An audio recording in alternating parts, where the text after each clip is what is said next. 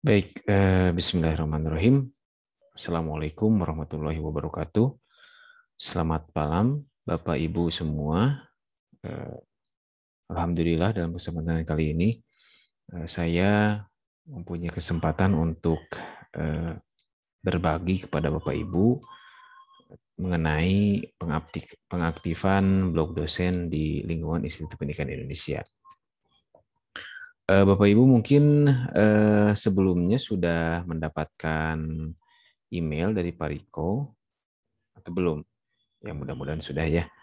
Saya akan mencoba untuk eh, menjelaskan mengenai awal mula bagaimana kita mengedit blog dosen dari email yang sudah diberikan oleh Pariko.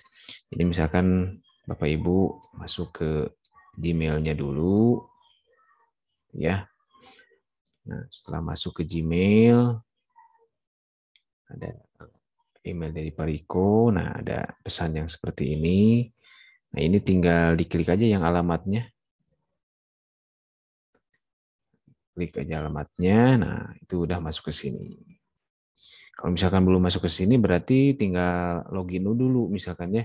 Nah, misalkan saya log out dulu nih. Saya logout dulu. Nah, kebetulan di sini di email Pariko itu menyebutkan bahwa usernya yang ke satu passwordnya IPGaru 32. Jadi bisa dimasukkan di sini untuk username-nya dan passwordnya di sini, kemudian login. Nah, kemudian akan muncul eh, menu yang seperti ini.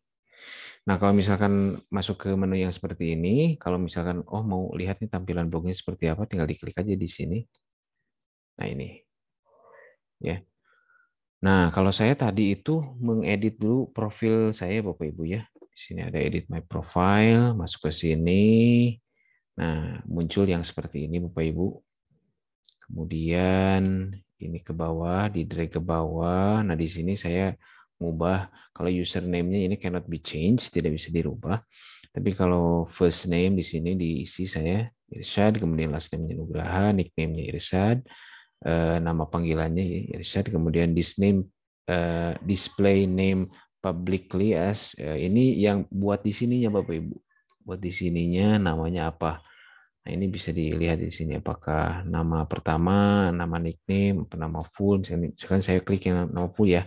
Nah, ini langsung rubah di sini. Gitu. Kemudian di sini emailnya adalah email institusi. Saya lebih prefer email institusi Bapak Ibu ya supaya seragam aja gitu. Ya akun LMS kan email institusi kemudian nanti sepada juga email institusi.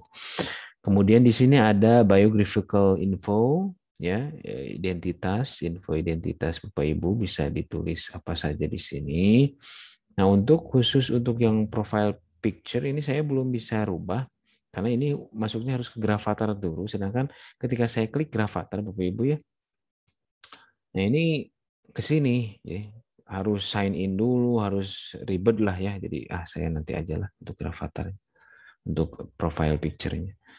Kemudian untuk new password-nya ini bisa di sini ya eh, di di apa dirubah.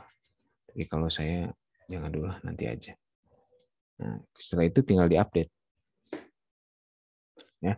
Nah, setelah itu eh, bagaimana kalau mengedit blognya itu sendiri gitu ya. Maksudnya mengedit tampilan yang kayak gini. Ini langsung aja bapak ibu ke sini customize. Nah klik customize muncul yang seperti ini. Ini tinggal diklik. Ini kalau misalkan mau ngedit nama misalkan ya. Nah, misalkan saya di sini ganti aja blog ini ya hilangkan jadi atau di ininya misalkan eh, Hmm, bisa ya.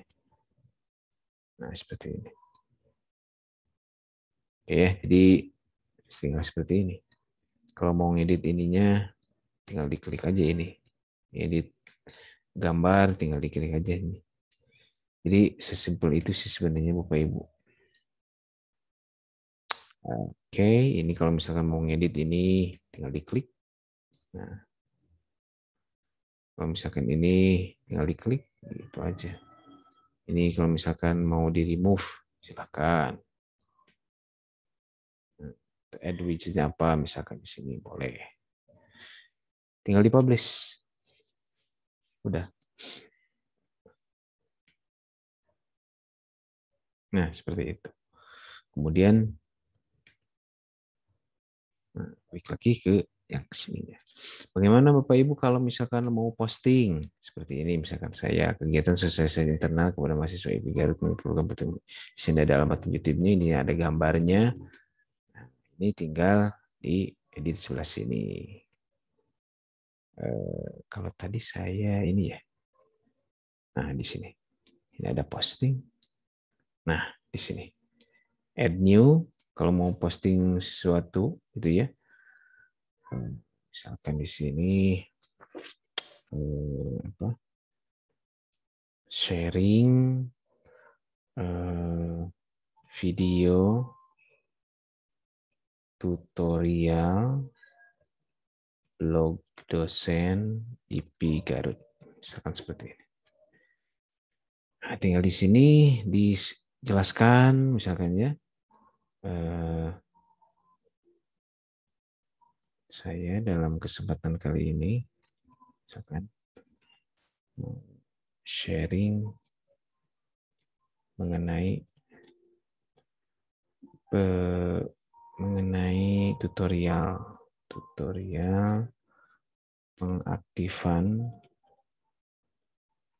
blog dosen IP Garut. Nah, seperti itu mau add media boleh silahkan gitu ya. Setelah ini mau lihat reviewnya di review, klik di sini. Nah di sini ada. Nanti saya mau ngedit pakai link YouTube-nya di sini, gitu Pak Ibu. Nah kalau misalkan sudah, ini klik lagi di sini. Ini tadi ini publish.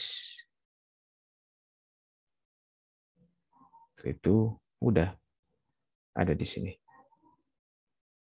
Kalau misalkan sudah ya tinggal klik lagi di sini untuk melihat site-nya. Nah, ini udah ada di sini. Seperti ini. Baik, mungkin itu saja tutorial untuk yang pertama ini. Mudah-mudahan bermanfaat bagi Bapak Ibu dan mungkin insya Allah kita ketemu lagi di lain kesempatan. Terima kasih. Assalamualaikum warahmatullahi wabarakatuh.